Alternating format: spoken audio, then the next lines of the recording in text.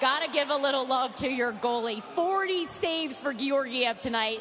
How huge was that for you guys? I think it started with his haircut. He was looking sharp from from this morning, and uh, he's a, he's a stud, and he's playing great hockey for us right now.